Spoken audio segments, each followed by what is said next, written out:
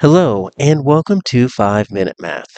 Today we are looking at the third grade concept of real world relationships, specifically how we can describe them in words, and we'll do it in 5 minutes or less. So we have a basic input output table here, and we see the relationship. We've got the number of boxes in the left hand column and the number of cards in the right hand column. What we're used to is we're used to writing the rule as either a plus something or a multiply by something. But sometimes we need to be able to describe that relationship in words rather than just writing the rule. So let's figure out what this relationship is, and then we can figure out how to best describe it.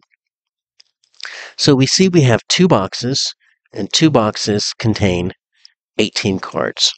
Three boxes contain 27 cards, five contain 45, so on and so forth.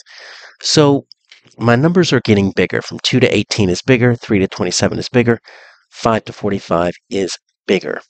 And they're getting a lot bigger from 5 to 45, right? So I can either be thinking 2 plus something equals 18.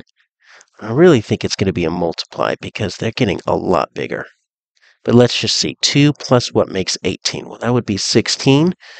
2 times 9 makes 18. So either of those could work right now what I need to do is I need to figure out which one would work on that second row, right? So 3, could I say 3 plus 16 equals, nope, that's going to make 19, but it should be 27, so that's not going to work.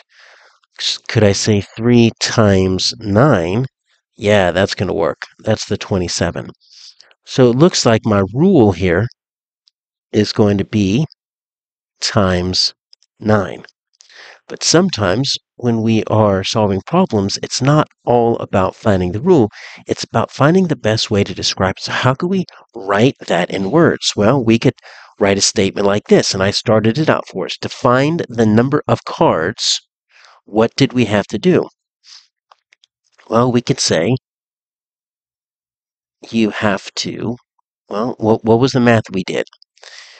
Well, we did the multiplied so we multiply the, and then what do we multiply? We multiply the number of boxes by what? Well, we multiply the number of boxes by 9. So let's look at that sentence. Define the number of cards, so let's use an example here, 99 you have to multiply the number of boxes, that's 11, by 9. So does that work? 99 equals 11 times 9. Yes. Let's look at another example. So we have another table here, and we have a teacher is giving some extra credit to uh, her students, and we need to figure out how we can describe the amount of extra credit that our teacher, the teacher is giving to the students. And so we have a table here, and this one is going to uh, end up going side to side. And so we see we have an original score if a student scored 75. The final score was 80. If a student scored 85, the final score was 90. 92 to 97, 97 to 102. So I need to find the rule first. It looks like we're still getting bigger. Uh, so it's going to be an addition because I can't think of anything that multiplies from 75 to 80. So let's see, 75 plus what equals 80? Well, that's just going to be 5 away.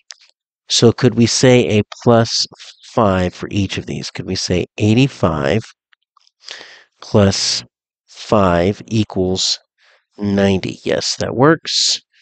92 plus 5 makes 96. Yep, and this child got over 100. Good job. So the rule is plus 5.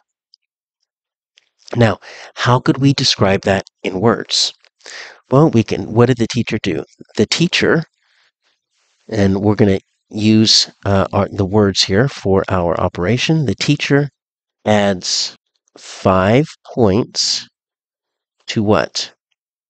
To the original score to get what? To get the final score. And that's how we can describe this relationship in words.